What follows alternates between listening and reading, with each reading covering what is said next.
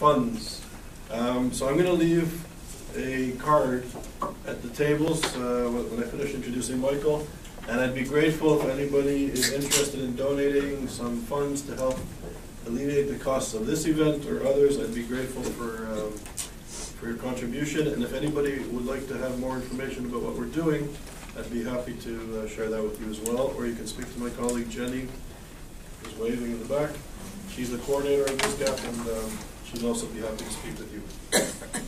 And also, we have uh, books on sale, a special price at Amazon, they're twenty-five dollars, but here, special, they're ten dollars. Um, And Michael will be happy to sign it if you're interested. And in five years, the signature will already be Word. So uh, today, so- and and the the book here, as you can see from Simon and Schuster, is called Battle for Our Minds, Western Elites and the Terror Threat. And I read the book uh, almost a year ago now, and for nine months ago. It's a very important book. It's really, there are things happening uh, in our societies, in our institutions, um, that we really need to understand. Excuse me, do you accept charge cards? No, we don't. Oh, maybe we do. Jenny. Um, So it's a very important book. I urge you to read it. So it's an honor to have uh, Professor Michael Widlanski here with us. He's currently the Schusterman Visiting Professor at UC Irvine in California. He served as a advisor to the Israeli negotiating team, teams for various negotiations, including Madrid and Jordan and other places. He worked with the Strategic Affairs, uh, he was a Strategic Affairs advisor for Israel's Ministry of Public Security. He has five degrees from Columbia University, the American University in Cairo, and Bar Ilan University, and he's the author of this very important book, Battle of Our Minds, Western Elites and the Terror Threat. Dr. Widlanski currently teaches at Bar Ilan University. He taught as well at Hebrew University for over two, two decades. He was a visiting professor as well at Washington University in St. Louis. He taught at the National Geospatial Intelligence Agency and was a research fellow at the Shalem Center in Jerusalem. Uh, Michael has also been a reporter for the New York Times, the New York Daily News, the New York Post, Haaretz, the uh, Jerusalem Post, the National Review, and the, he wrote for the New Republic. And he was the Middle East correspondent, uh, correspondent for the Cox News Agency, and was a dipl- diplomatic correspondent of Arab affairs um, for Cox and for the Israeli television and Israeli Army radio. So it's a pleasure to have you here today.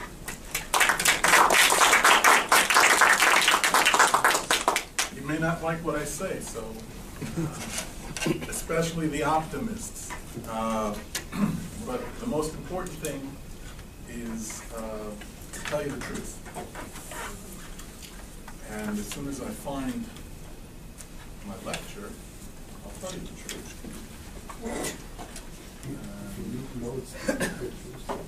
Wow. I could probably do it by heart, but it's more fun, it's more fun to look occasionally at the notes. This is, how do I get out of this? Just a second.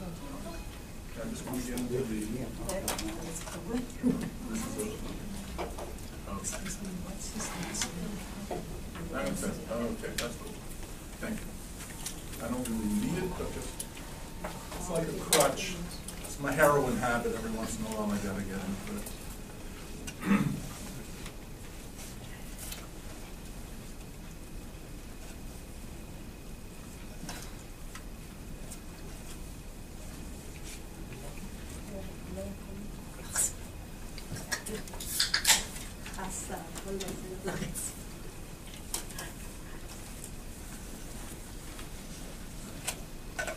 Um, I'll start by asking you a basic question. What is terror? What is intelligence? And how are they connected? The most important thing to understand about terrorism is that the terrorist is not like the typical enemy. And terrorism is not like the typical form of warfare.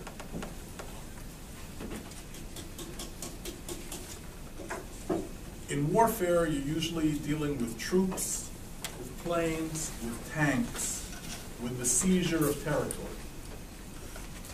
When you're dealing with a terrorist, the terrorist is not interested in seizing territory, he's interested in seizing one thing.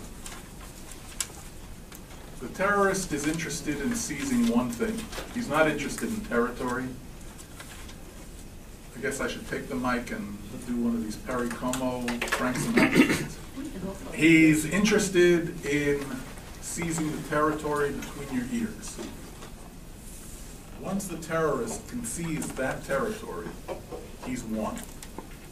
She's won. They've won. Because when you seize the territory between the ears, you literally can lead somebody by the nose. The terrorist wants to induce a state of panic, confusion, and fear. I used to say it was like watching an Alfred Hitchcock movie. But today, when I say that, most people give me a blank stare and they say, Who's Alfred Hitchcock? But some of you may still remember. The idea of the terrorist is not so much to induce casualties, to cause casualties, but to turn the entire society into a casualty. Basically, to take a democratic society, build on its fears and its weakness, destroy its faith in government, turn a government's policies around, or even to upend the entire society. That's why terrorism is the worst kind of crime. It is not like boosting somebody's car. It's not even like murdering a person or even mass murder because it is eventually interested in murdering an entire society. And that is why, when you're dealing with an Osama bin Laden or a Hamas or a Hezbollah, you don't play by the same rules that you use when you're fighting a kid who's 16 year old, 16 years old and is trying to steal a Corvette Stingray. It's not enough to capture one of them and then put him on trial. It's critically important to capture them before they do what they intend to do. That's why the legalistic approach of a lot of politicians is wrong. That's why in Israel we do not have that legalistic approach. We do not, we do not care about being politically correct. We make mistakes, and we have made mistakes, and we've made some recently, releasing terrorists. But generally speaking, Israel has the best record in the world in fighting terror. And countries that fight terror, which are democratic countries, Israel, the United States, France, Britain, Germany, India, Argentina. Any country that fights terror has to ally itself with other countries that fight terror. Because ultimately you're fighting a battle against the worst enemy on the planet. There's a whole other lecture that I give about the subject of why tyrants and terrorists tend to single out democratic countries, democratic societies, particularly Jews and Americans, Israel and America. I won't do that today, I will do that some other time. But I want you to understand something. The terrorist thrives on finding the weakness in the democratic society. And the way to defeat the terrorist is to do to him or her what they are trying to do to us. Get into their heads. You cannot let them into that space between your ears. You have to be in that space between theirs. That means you have to have intelligence, as we say in Hebrew, mashma, in both senses of the word. You have to be smart and you have to be fast. Growing up in New York City, we used to say population was divided into two people, two kinds of people the quick and the dead. Mm. That's the same thing with terrorists. Either you're aware and quick, or you can be dead, and your society can be dead. What happened on 9 11 was inexcusable. We had warnings. What happened to the World Trade Center in 1993 was also inexcusable. We had advance warning, we had evidence. We had 15 cartons of evidence that the FBI didn't bother looking at. Fort Hood could have been prevented easily. The Boston Marathon massacre could have been prevented. So, how is it that America's intelligence is so often asleep? How is it that we get things wrong about the Middle East all the time? How is it that we believe in mirages like Arab Spring, Arab moderation, and Islamic democracy? How is it that President Barack Obama and the Director of National Intelligence, Lieutenant General James Clapper, who used to be the head of the National Geospatial Intelligence Agency where I lectured, how is it that they seem to believe in the moderation of Syria, Bashar Assad, the moderation of Iran, the Ayatollahs, and, God help us, the Muslim Brotherhood. Jama'iyat al-Ikhwan al-Muslimun, the Society of the Muslim Brothers, which is basically a throwback to the Wahhabi doctrines that came out of the Najd plateau in Saudi Arabia two or three hundred years ago. How can they think that these people are moderate? James Clapper, appearing before Congress in 2011, was asked about the Muslim Brotherhood, and he said with a straight face, I'm not making this up, you can't make this up. With a straight face, they're largely moderate, largely secular, with franchises throughout the Middle East. He was talking about McDonald's, halal branch. Really? Really? Somebody who says something like that should be summarily dismissed for terminal stupidity. And he's not the only one. So, where did he get this kind of stuff from? How could anybody think that you send an ambassador to Bashar Assad and he's going to be a nice guy? Or that if you don't criticize the Iranian regime mowing down people in the streets of Tehran in a phony election, that they're going to be more moderate, they're going to be engaged. And how does somebody think that if you talk too much to Israel, they'll get upset in Syria or in Iran or someplace else and they won't want to talk to you as President of the United States? Well, this is a prejudice that's based on a variety of things Arabism, Islamophilia, and good old fashioned Jew hatred, which we sometimes call anti Semitism. This sentiment, I think that I have to stand right behind this. Is it all right if I take out the microphone and work? Yes. No, I can't pick up the microphone. All right, then I'll stick to the microphone. These sentiments are not the special preserve of the left in the United States. They also exist on the right. They are not the special preserve of the secular humanists. They also exist among devout Christians, even some others, other groups. They appear across the political and religious spectrum, the cultural spectrum. In the 1930s through the 1950s, most of the people who had the Arabist caste, believing in the virtues of the Arab world, were usually tied to the oil industry. Often they were the sons or they themselves missionaries to Lebanon and Syria. These missionaries were very important in setting up the ideas of Arab nationalism, Wataniya, the nationalism of the homeland, or Qawmiya, the nationalism of the Qawm, the community, based on language. And sometimes these officials or these people in oil companies or in the State Department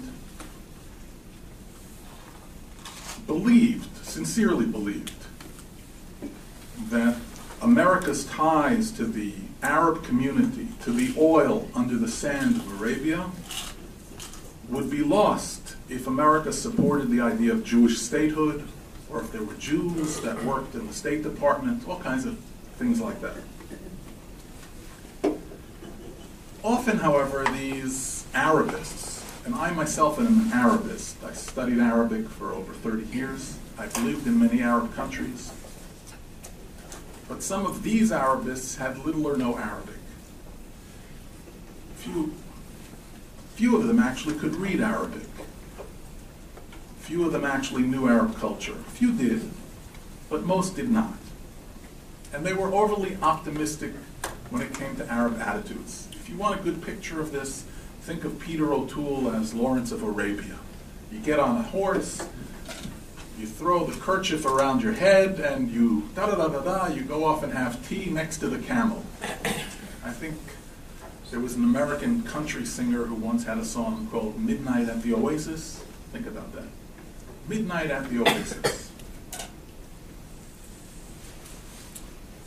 In recent years, these ideas of Arabism and Islamophilia and genteel and not so gentle anti Semitism became the preserve more of the American left and intellects on the left of center, such as Edward Said. Edward Said was the man who dumbed down American intelligence more than anybody else. He died on a September day, two years after the 9 11 attacks he helped make possible. And exactly on the anniversary of 9 11, the Middle East Studies Association of the United States of America offered its first Edward Said Prize in Middle East Studies to a man who didn't know Arabic. Most people don't know that, didn't know Arabic. A few words to a man who basically took the point of view that for America and the West to know about the Middle East meant it gave them power to exploit and subjugate the Middle East. And so, in order not to subjugate the Middle East, America had to be kept in the dark, had to be kept dumb. And unfortunately, he succeeded. I went to Columbia University. I got three degrees at Columbia. I worked on the Columbia Spectator as a reporter, and I was the editor of the Columbia Barnard Course Guide, which was the biggest review of courses at any American university in the United, any American university. Two or three times bigger than the Harvard Confi Guide.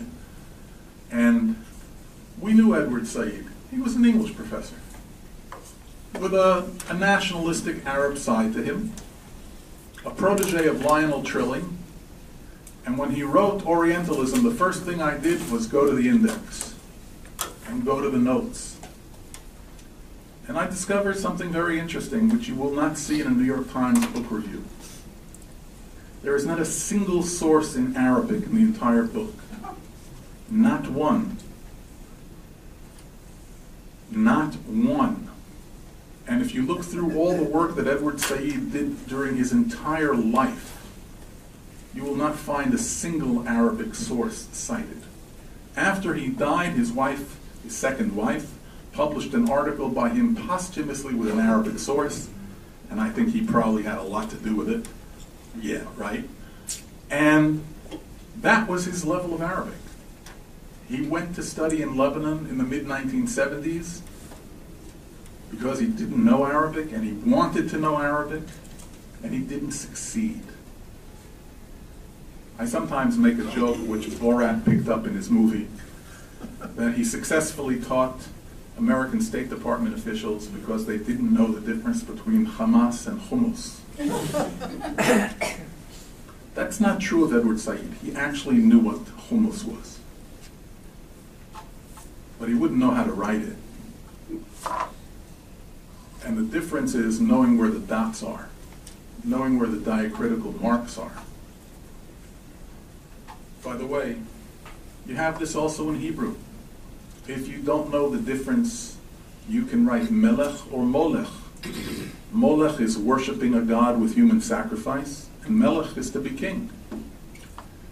But if you don't know, you don't know.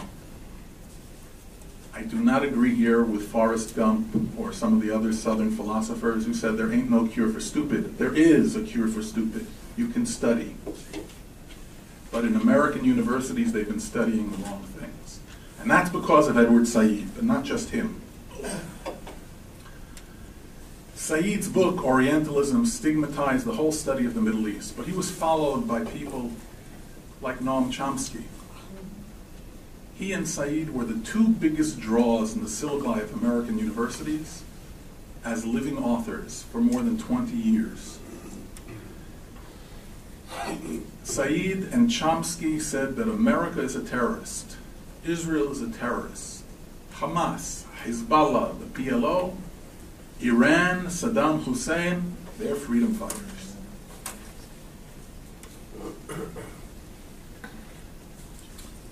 And Columbia student Barack Obama was influenced by Edward Said.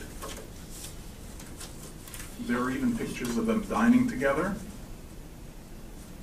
And there probably would be more pictures, but some people are sitting on them, like the LA Times, which has a video of the dinner, which it's not publishing. Said used to throw rocks at America, as did Chomsky, both figuratively and literally. These rocks landed. And the American intellectual community has been made dumber by the rocks that hit it in the head. And if you go to Georgetown University and you see the center that's been set up by Professor John Esposito with the help of a lot of Saudi money, or you go to other universities where money has come in from the Arab world and a lot of money has gone to presidential libraries also, you should understand that Said and Chomsky didn't do this all by themselves. They had a lot of money coming in. And in 1978-79, when the Ayatollah Khomeini was coming back to Iran, the New York Times looked to Edward Said to tell the world that Khomeini was a moderate. And Jimmy Carter believed it, and the people around Carter believed it. Bernard Lewis took the trouble to go to the Princeton Library to look up the writings of Khomeini in Arabic. Although Khomeini wrote originally in Farsi, for Lewis it was better to go into Arabic. And he said, this guy's no moderate. The New York Times wouldn't publish his op-ed, but they published Edward Said.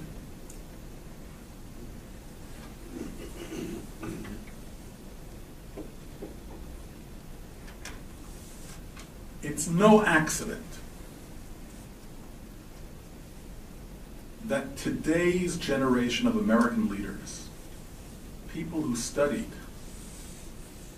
in the Ivy League or in Georgetown, and if you're the head of the CIA, George Tenet, you studied both at Georgetown and at Columbia. if you're Eric Holder, Barack Obama, your idea, your, your worldview is formed very often in college, in graduate school.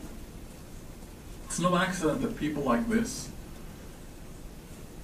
this generation, feel that it's more important to worry about hate crimes committed against Muslims than hate crimes committed by Muslims. Even though the US FBI reports, and I detail this in my book, for 10 years running since 9 11 show that there are six times more hate crimes against Jews than against Muslims.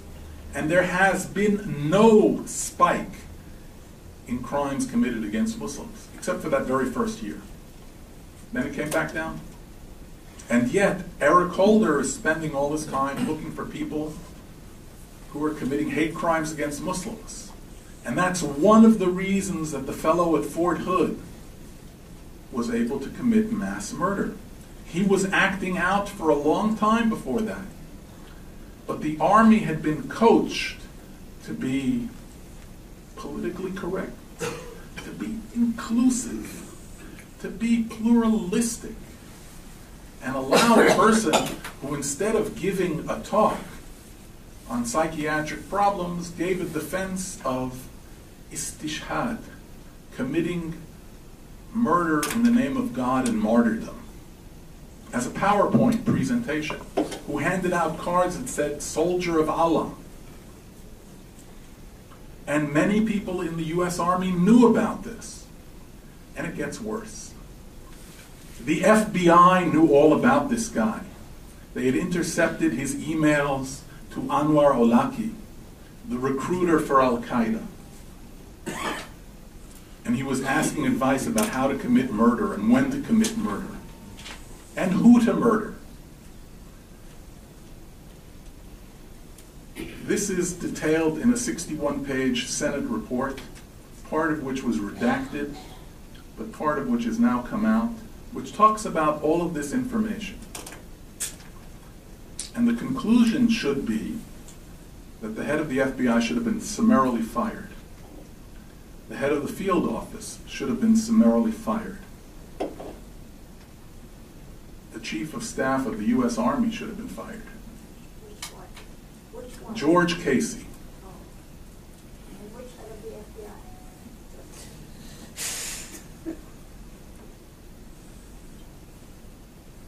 People who allow a murder to take place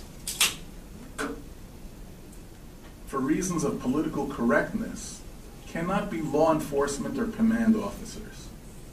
They can't. They shouldn't.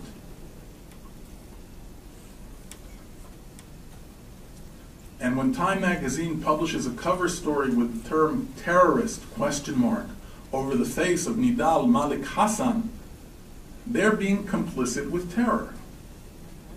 When the New York Times publishes studies by reporters that ask the question, did the man who committed murder break under the stress of combat fatigue?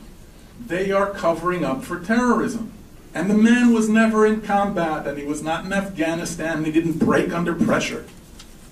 He was an ideological terrorist who was recruited while in a United States Army uniform.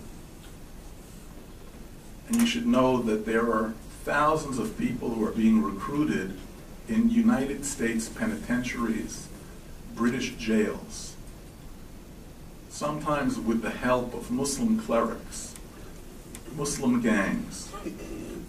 And unfortunately, they have the perfect skill sets to be terrorists. They learn how to forge, they learn how to knife, they learn how to shoot, they learn how to break and enter, and they become perfect terrorists with business cards that could say soldiers of Allah.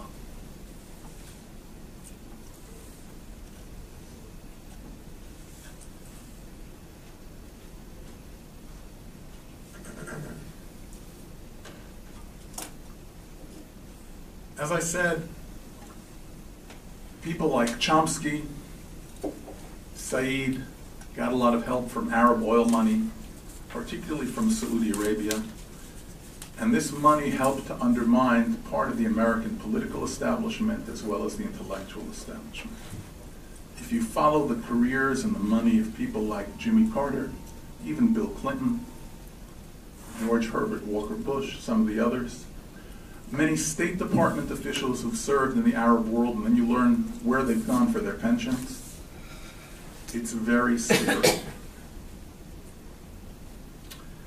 So has America's intelligence and its intelligentsia been influenced by anti-Semitism, Islamophilia, Arabism, and other prejudice? You bet it has. And the attitude towards Israel is particularly important because Israel is the world's front line against Arab Islamic terror and the world's best defense against Arab Islamic terror. So, how do you turn an intelligence asset like that into a monster? Well, the Pollard affair is not a bad place to start. The AIPAC supposed spy scandal is not a bad place to start.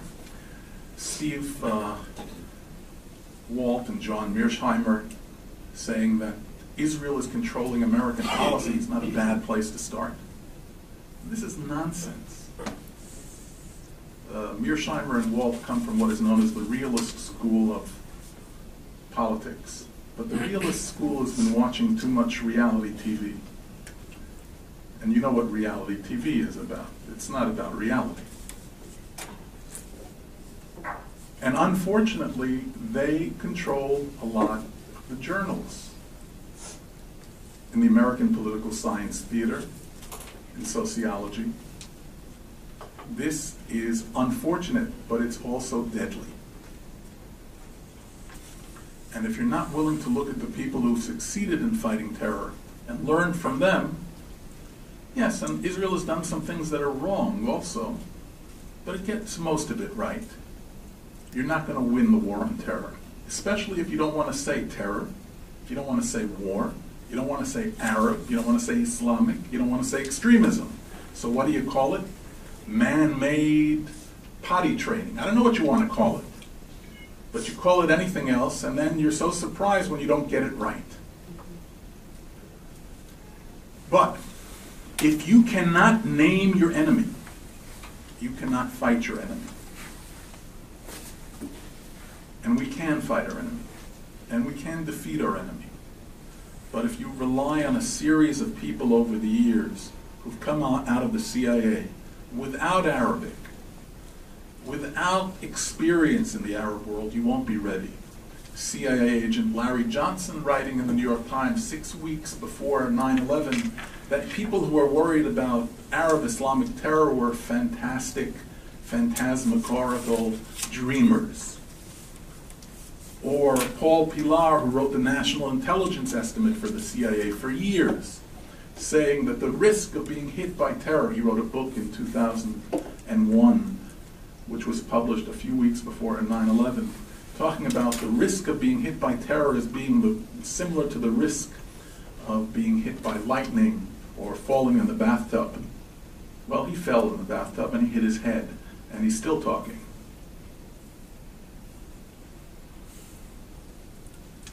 Graham Fuller, CIA lead analyst on the Middle East, talking about Islamic democracy as the trend for the future in 1992 in Algeria, before they murdered 200,000 people, most of them having their heads cut off and most of them being Muslims. A little more democracy and they won't have any hats sold in Algeria. John Brennan, the head of the CIA today, speaks Arabic badly, very badly.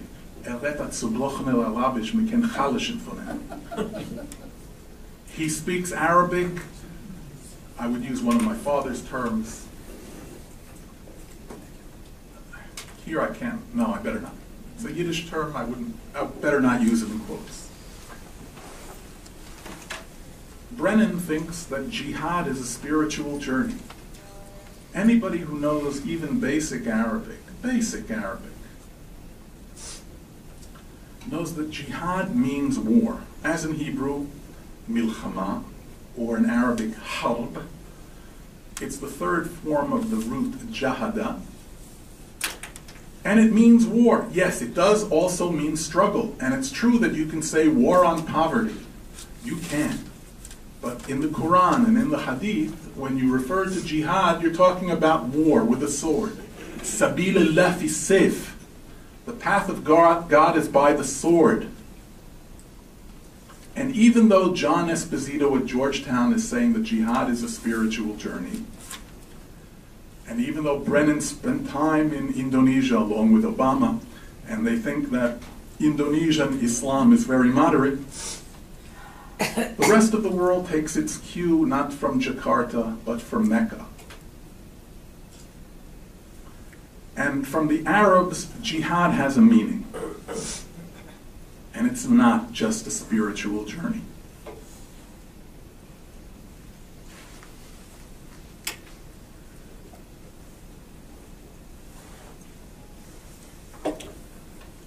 Again, the top people in the CIA for years, Paul Pillar wrote the National Intelligence Estimate a few years in a row.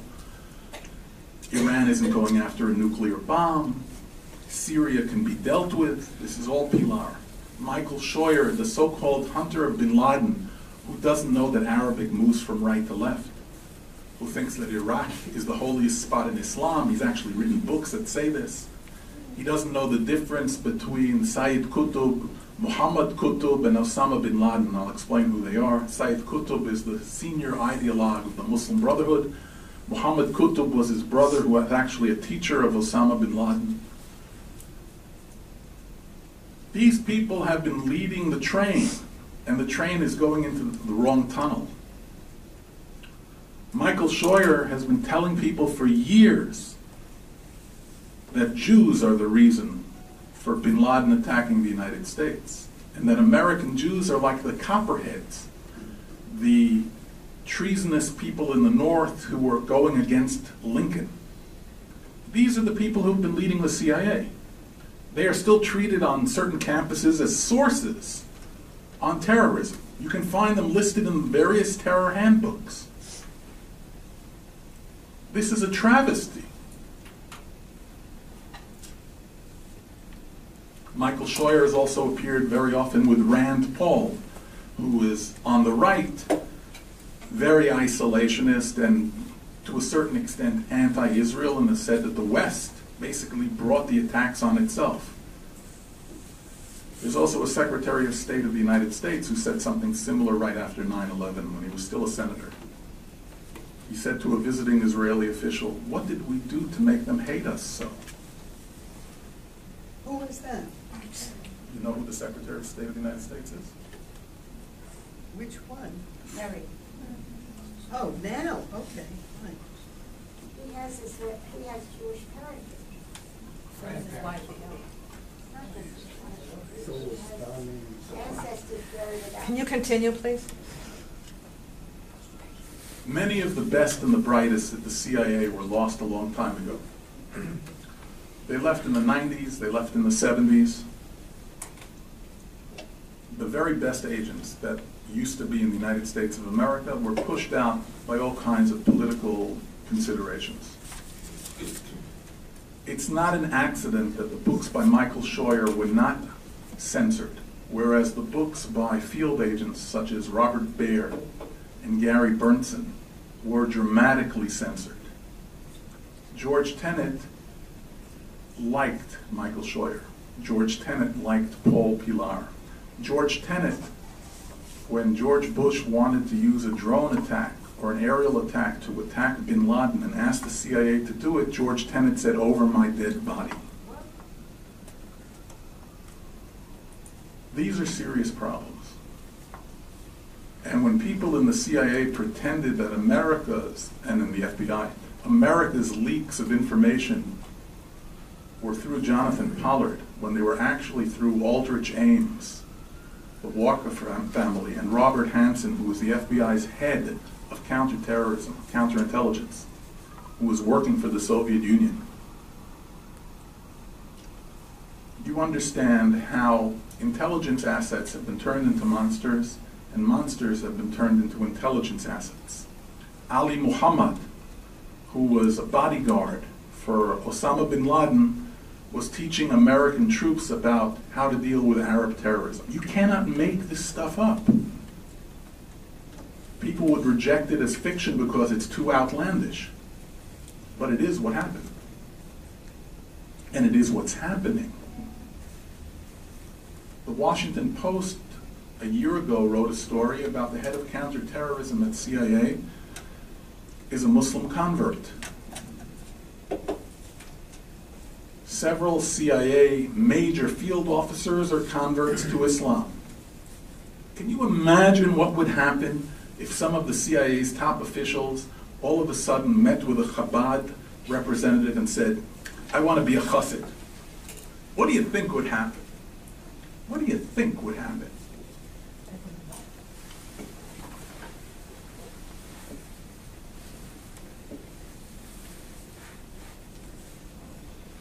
So instead of dealing with witch hunts,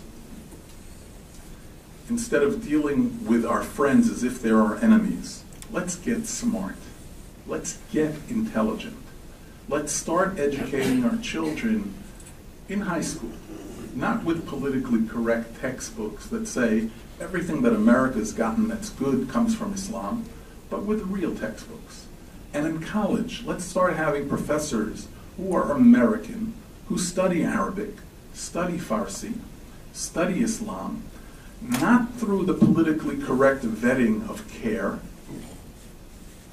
but through real, objective, serious study. When we do that, we'll see the enemy coming ahead of time, and we'll be able to get ready. has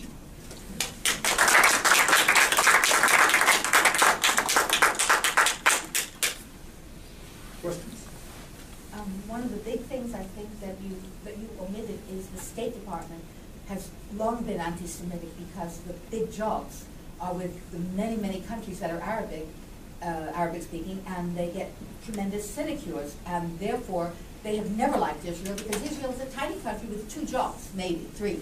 So the State Department is the engine that drives, I think, a lot of this uh, mishigas. I like the term Michigas. Um, I agree with you, and I think I didn't omit it, but you're right to say that because there are so many more Arab countries, there's a built-in institutional, by the way, Henry Kissinger, to his credit, and I give him credit on this, uh, saw this prejudice and tried, when he was Secretary of State, to rotate people through Israel if they'd served in the, in Arab countries, so that they would at least get a taste of what Israel was in real life, as opposed to what it was being branded throughout the Arab world. Questions? I don't have a question, I am Baghdadi born. I came in forty-eight, this is my cousin Carol Bassley, she's American born, of Baghdadi she has done much more history. I can talk for three, four minutes about my heritage and what I know, and what I to speak about the things she's done, we can, but if you don't want us to do so, we won't, because I know, one, there wasn't anti-Semitism, and I was born during the Farhud, which is, In forty-one. I was, and I have two birthdays as a result.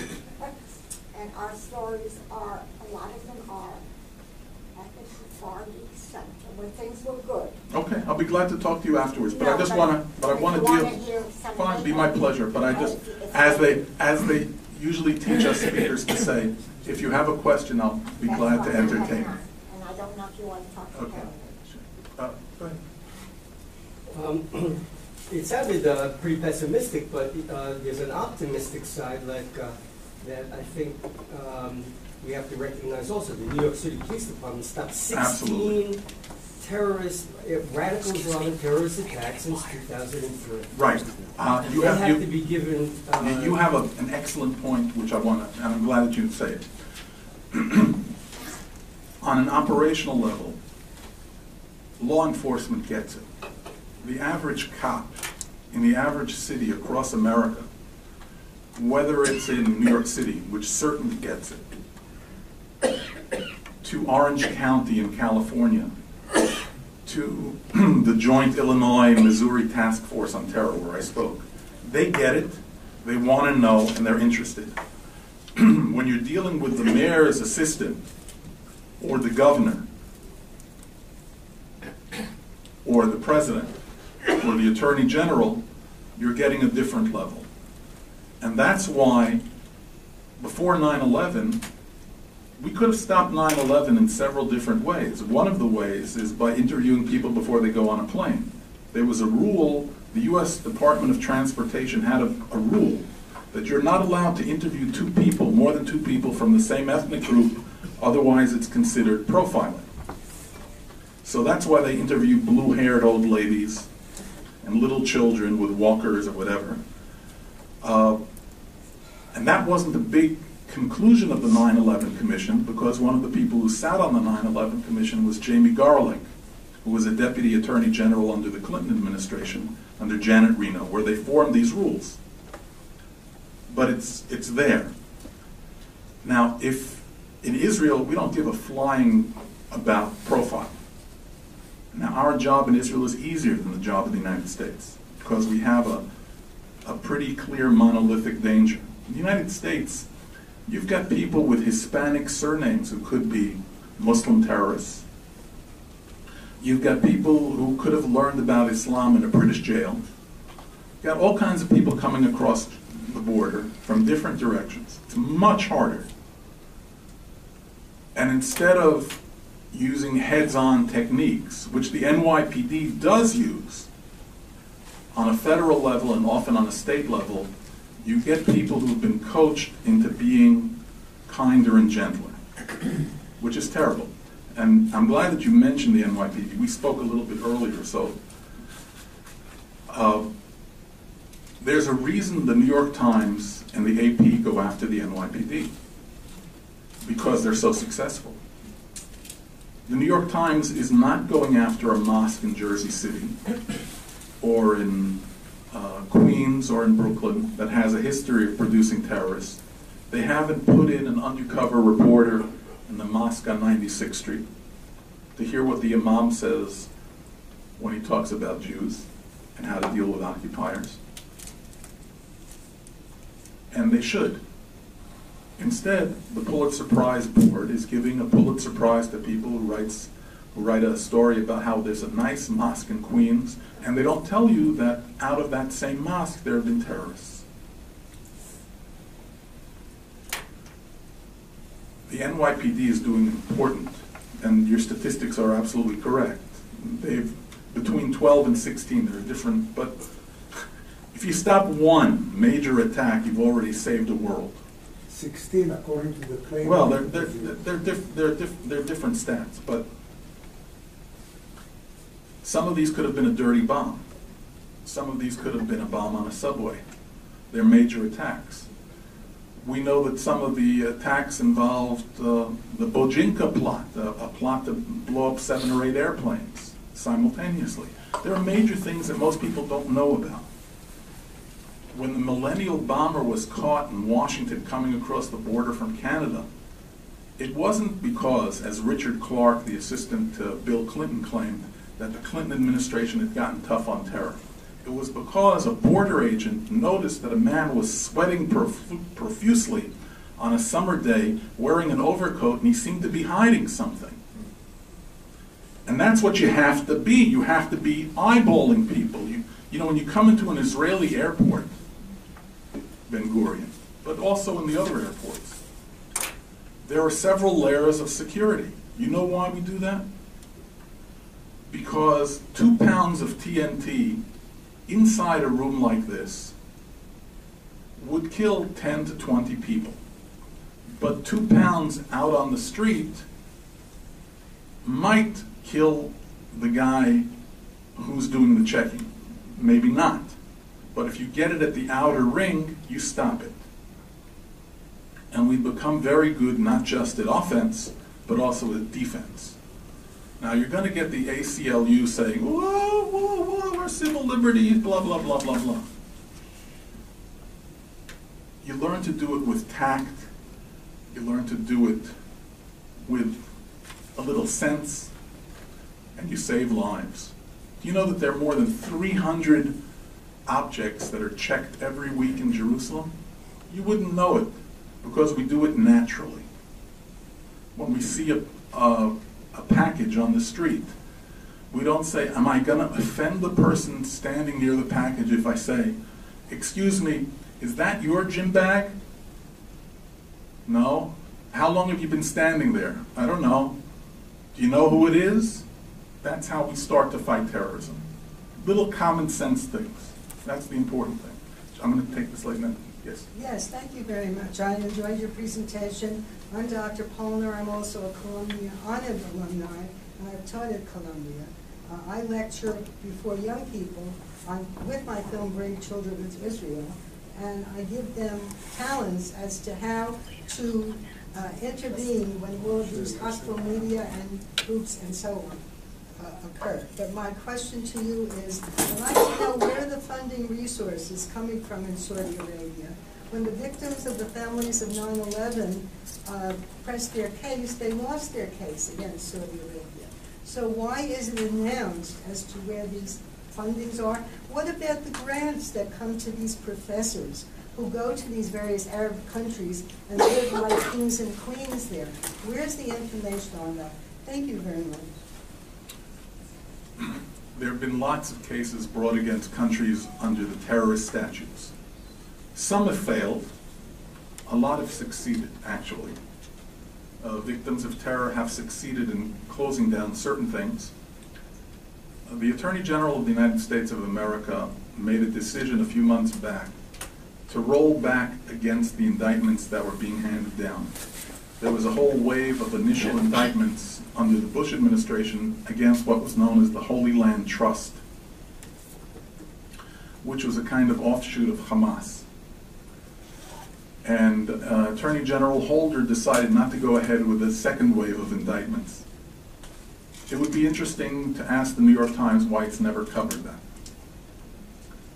As for where the money's coming from, you have so much money that's rolled into the Arab world, particularly into the oil-rich countries of Saudi Arabia, Kuwait, Qatar, Qatar a lot, that there's no problem for somebody to give 10 or 15 or 20 million dollars, build a center at Georgetown University, or invite people to set up a Yale University uh, spot in uh, one of these countries. And then people come back and they become kind of conditioned to do a kind of uh, pro-Arab, pro-Saudi approach to politics.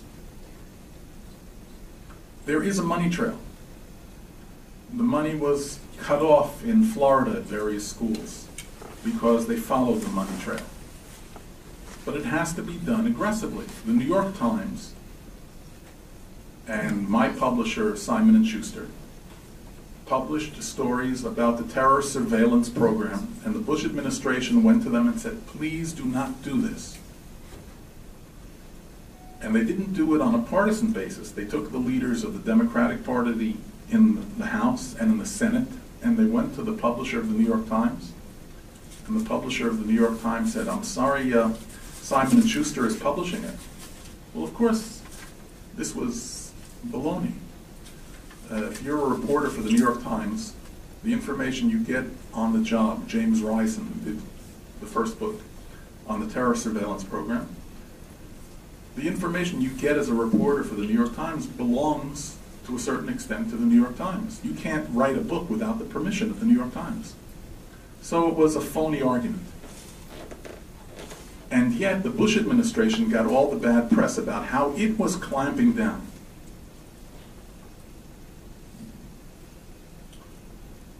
The surveillance program on banking was outed by the New York Times. And it wasn't a broad-based, broad-spectrum antibiotic, anybody who breathes is going to have their bank records taken, which is something like what the Obama administration has done with its, its taps on reporters, its data taps. So the press is very much an unindicted co-conspirator in helping terrorism. Absolutely. We have three elites that help terror in the United States. The press, academia, and government intelligence. That's what I talk about in my book. And my book barely scratches the surface. And it's just devastating. And when you have somebody in Congress, there were five Republican Congress people, uh, Gohmert and a few of the others, uh, Michelle Bachmann was one of them. They treated them as if they were Joe McCarthy, because they were talking about the fact that there were all kinds of people in the federal government who were vetting briefings to the National Security Agency, the Joint Chiefs, the State Department. I mean, Hillary Clinton's top assistant, Huma Abedin, very tr- troubling situation. She would not have gotten by even the most basic level security clearance in, in Israel because her whole family is Muslim Brotherhood. And she is. She was never vetted. I, She I, secretary. I, let me talk, please. There is a very serious problem here. And just to make fun of Gohmert or Michelle Bachmann, because Michelle Bachmann doesn't pronounce the word chutzpah right, she says chutzpah. And David Letterman can have fun with her, or have fun with Sarah Palin, or something like that, is to be irresponsible, actually. It's really irresponsible. There are serious, serious problems of penetration of American security, and it's not by Jonathan Pollard, and it's not by AIPAC. I'm not a friend of Pollard, and I'm, Pollard is guilty. I'm not saying he shouldn't go to jail. But Pollard was not trying to damage the United States. And AIPAC is certainly not trying to damage the United States. But you have people who are penetration agents at the highest levels who've gotten money and training from Saudi Arabia, from Iran. Let me just tell you just one story because it'll blow you away. Who is the top advisor to President Barack H. Valerie Obama? Valerie Jarrett.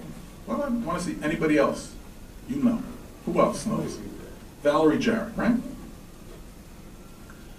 Valerie Jarrett speaks Farsi, and that's good. And she was apparently born in Iran, and that's good too. Terrific. A year and a half ago, a little less than a year and a half ago, there was an attack in Bulgaria by Hezbollah and Iran agents on an Israeli tourist group. Five people were killed in, among the Israelis, and I think the bus driver.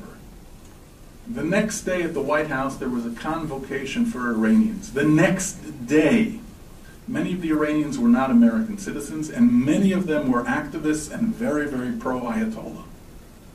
Who spoke to them? Valerie Jarrett.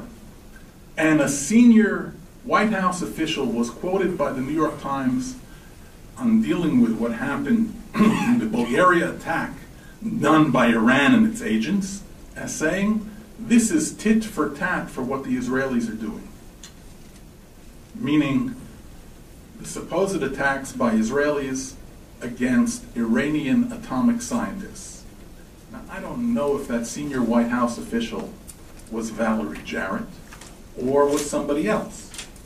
But the fact that any senior White House official would make that kind of comparison, make that kind of statement, and that the White House would have a convocation the next day for Iranians at the White House after an Iranian attack on an American ally?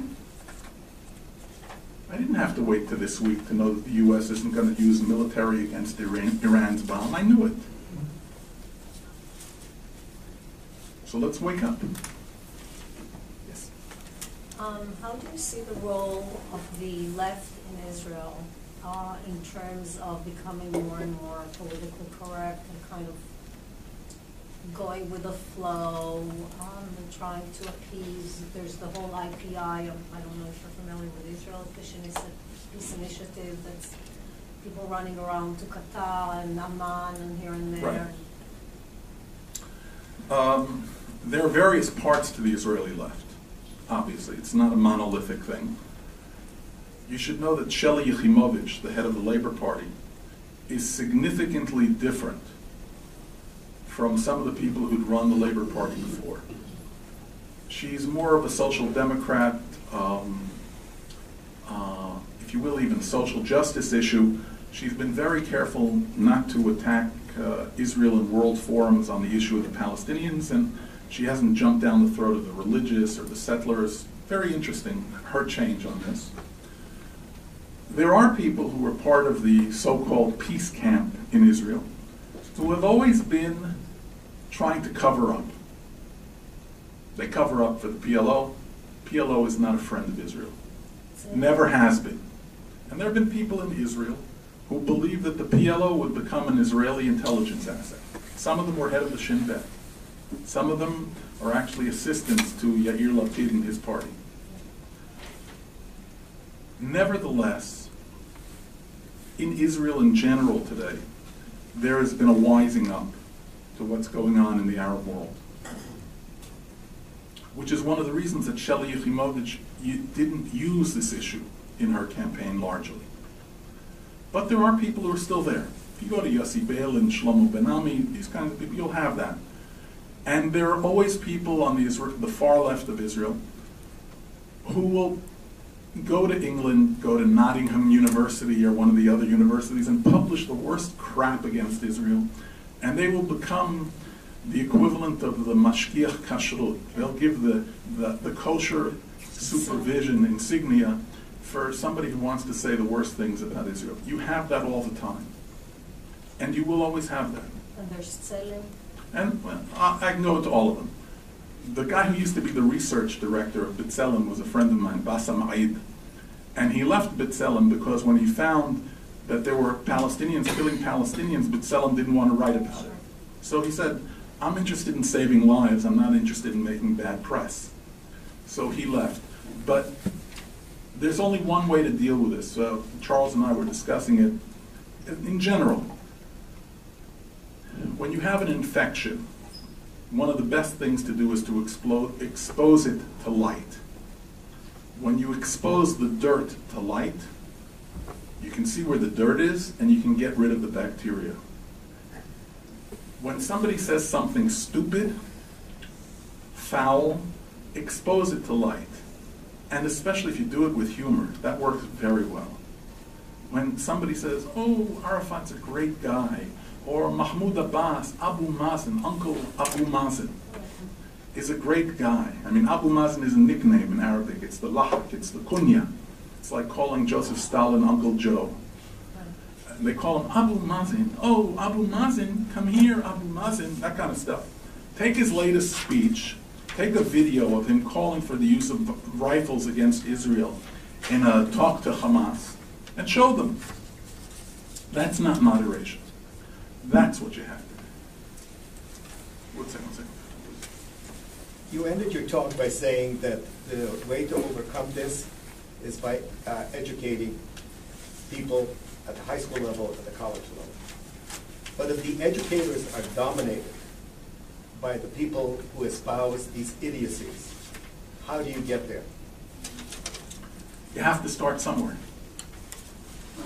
I was in California this week, and people were telling me what's going on in their high schools. What kids are being asked to read as their world history readers. You have to go to your local board and you say, excuse me, this is stupidity. Excuse me, this is a lie.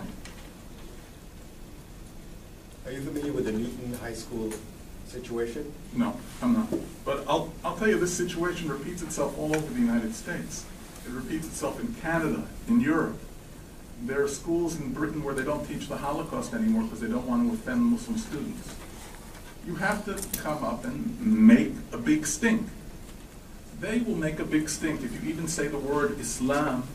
They'll say you didn't pronounce it right. Islam. You know, they'll start to slam you for slamming Islam, you know, or slime you for sliming Islam. And you'll always be on the defensive. The biggest offense is not to be willing to give offense to terrorists. Go after them. Go after their supporters. Tyrants always start this way. Hitler could not have achieved what he achieved if he hadn't first done a brainwashing of people and dehumanized whole populations. You have to fight back. You have to yell. You have to write op-eds. You have to embarrass people for their stupidity. It doesn't matter if it's the New York Times or the LA Times, Newton, Massachusetts. I don't care where it is. Embarrass the hell out of them. Use local TV. Make fun of them. Show them to be bad and foul and stupid. And when you do that, you'll succeed. Sir. Thank you very much for your very penetrating presentation. I have two quick questions. First, to what extent do you think that the United Nations is responsible for the attitudes of some people in the press and the academia and perhaps some government that we've been talking about? The second question is, when you were referring to the New York City Police Force, did you mean them alone or did you mean the joint task force between the police and the FBI and counterterrorism? Well, there are people who are good people at the FBI, but again, the best are at the NYPD. They really are super. They are, I've read some of their reports, some of their studies. They are cutting edge. Part of the problem at the FBI is that the FBI, the FBI should be the cutting edge. But the FBI is still thinking legalistically. And it, the FBI is under the Department of Justice. And the Department of Justice is the Attorney General. And you're always going to have that problem at the FBI. Remember also that in the United States, ever since the 1970s, because of what Nixon did in Watergate, you're having intelligence oversight of agencies like the FBI and the CIA, and rightfully so, but this is often turned into a political football. If you watch some of the senators and a few of the representatives who handled this issue in recent years, you can see this. It's outrageous. It's outrageous. They, they muzzle, they censor reports. There's a Senator, uh, Carl Levin, who's been responsible for some of this. There's also Patrick Leahy. Done some horrible, horrible things in hearings. Very bad stuff. It shouldn't, shouldn't happen. And on the other hand, you have some very courageous people like the congressman from Long Island, um, what's his name?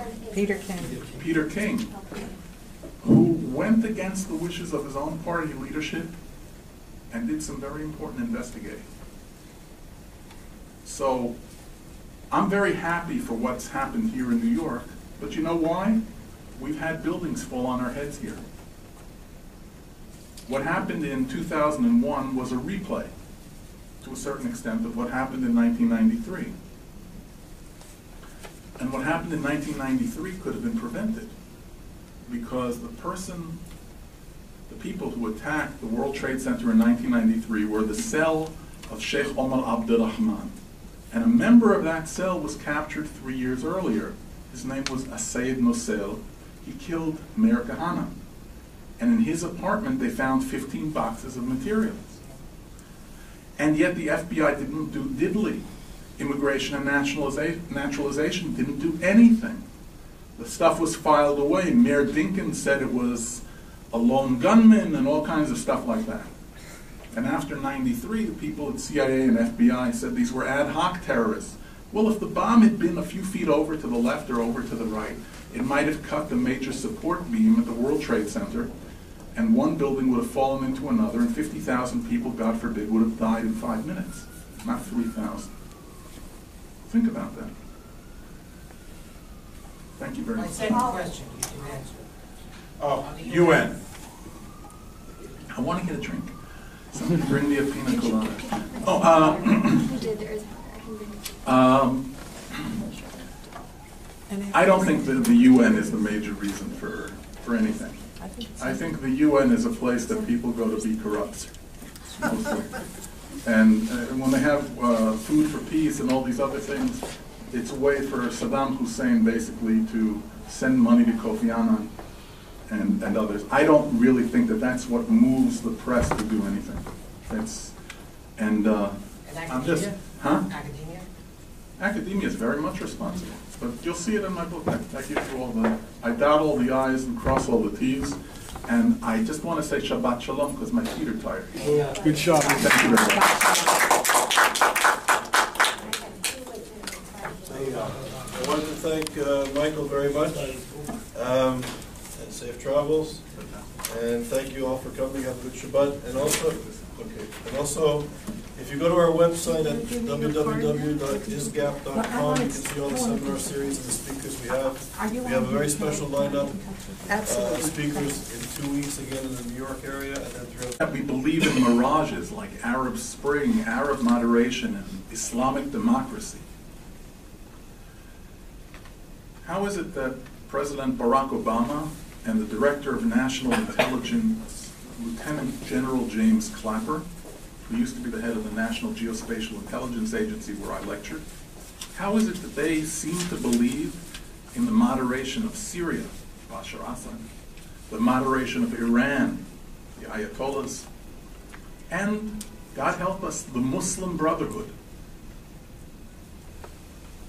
Jama'iyat al-Ikhwan al-Muslimun, the Society of the Muslim Brothers, which is basically a throwback to the Wahhabi doctrines that came out of the Najd plateau in Saudi Arabia two or three hundred years ago. How can they think that these people are moderate?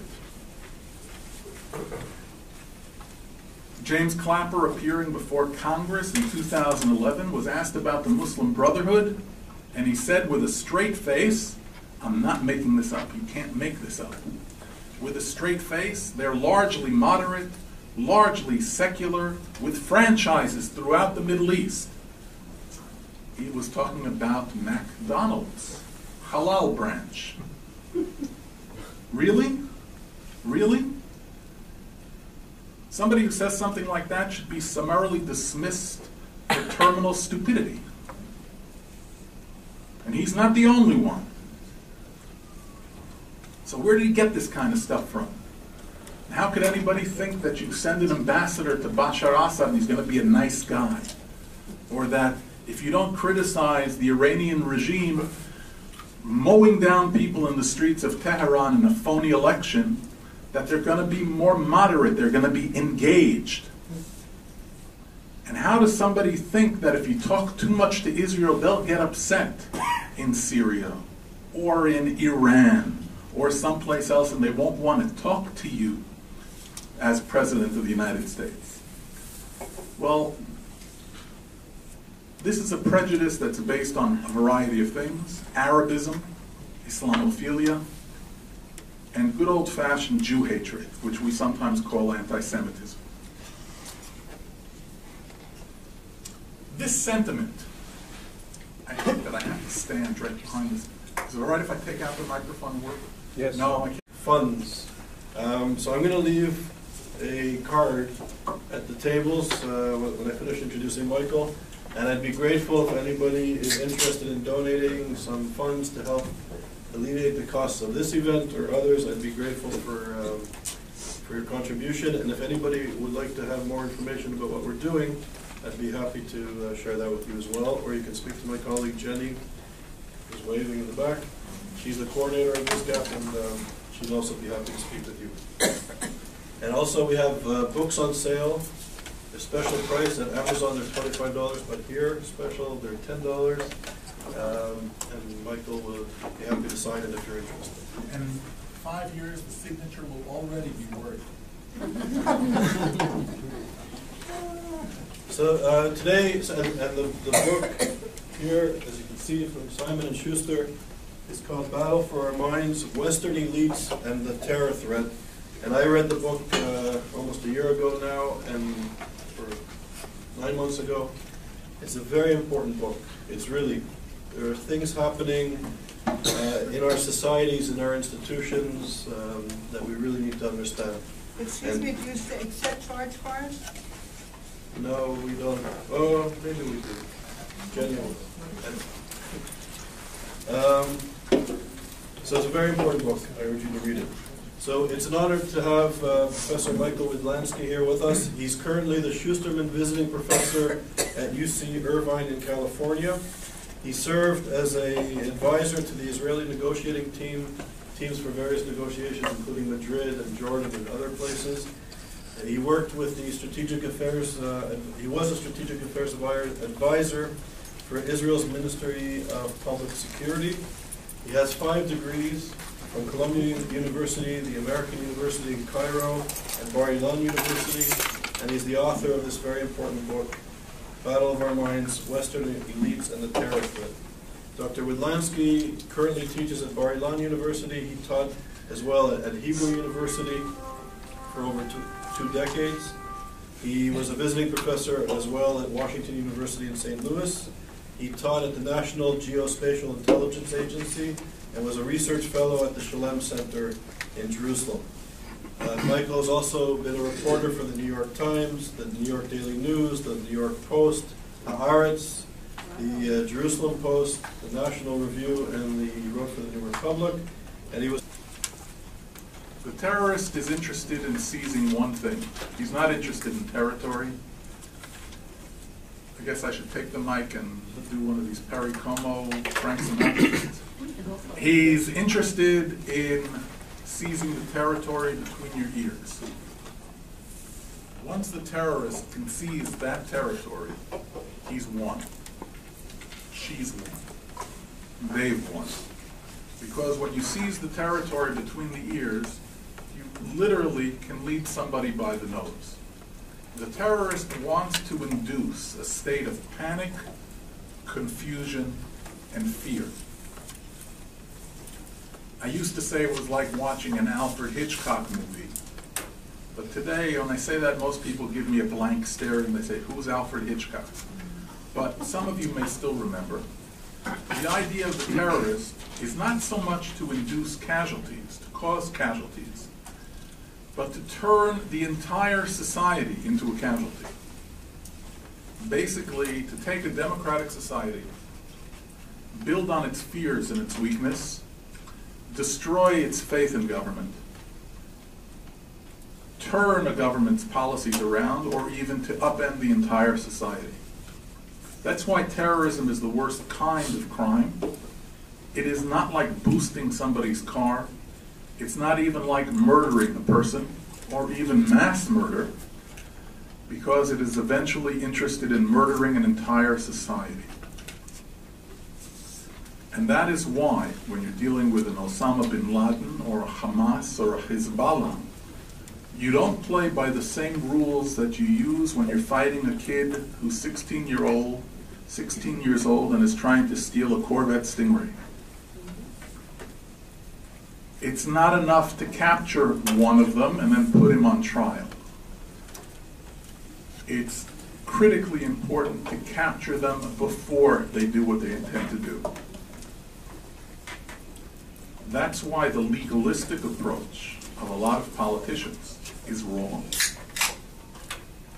That's why in Israel we do not have that legalistic approach. We do not, we do not care about being politically correct. We make mistakes, and we have made mistakes, and we've made some recently, releasing terrorists. But generally speaking, Israel has the best record in the world in fighting terror. And countries that fight terror, which are democratic countries, Israel, the United States, France, Britain, Germany, India, Argentina. Any country that fights terror has to ally itself with other countries that fight terror. Because ultimately you're fighting a battle against the worst enemy on the planet. There's a whole other lecture that I give about the subject of why tyrants and terrorists tend to single out democratic countries, democratic societies, particularly Jews and Americans, Israel and America. I won't do that today, I'll do that some other time. But I want you to understand something. The terrorist thrives on finding the weakness in the democratic society. And the way to defeat the terrorist is to do to him or her what they are trying to do to us. Get into their heads. You cannot let them into that space between your ears. You have to be in that space between theirs. That means you have to have intelligence, as we say in Hebrew, kalte mashma, in both senses of the word. You have to be smart and you have to be fast.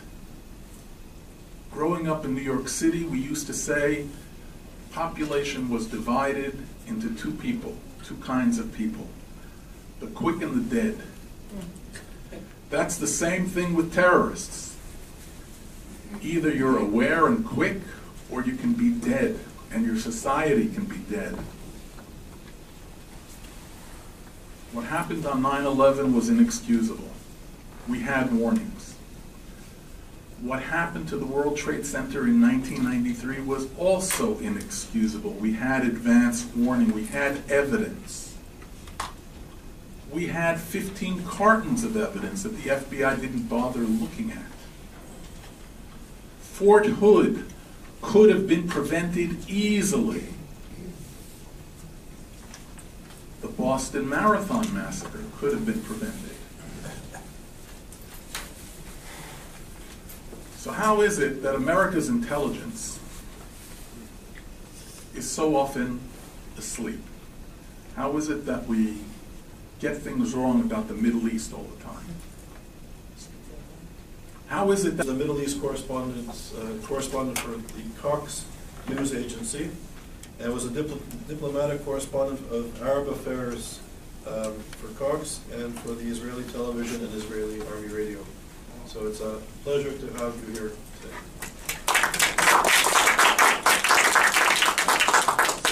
you may not like what I say, so, especially the optimists. Uh, But the most important thing is uh, to tell you the truth.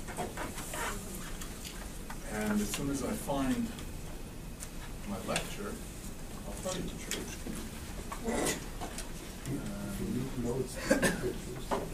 Wow. I could probably do it by heart, but it's more fun, it's more fun to look occasionally at the notes. This is, how do I get out of this? Just a second. Okay. I just want to get into the,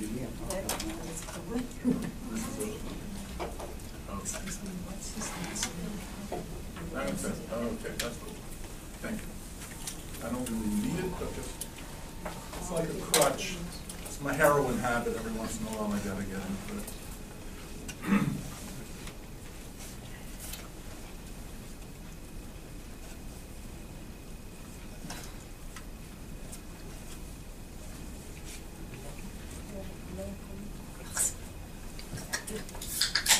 Hasta, volvemos.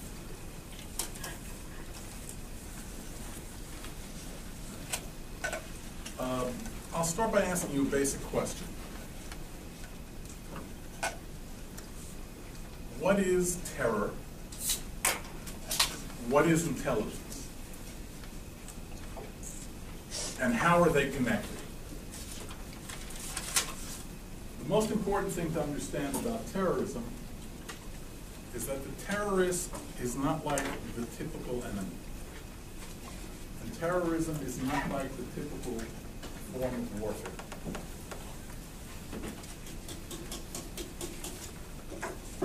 In warfare, you're usually dealing with troops, with planes, with tanks, with the seizure of territory. When you're dealing with a terrorist, the terrorist is not interested in seizing territory. He's interested in seizing one thing,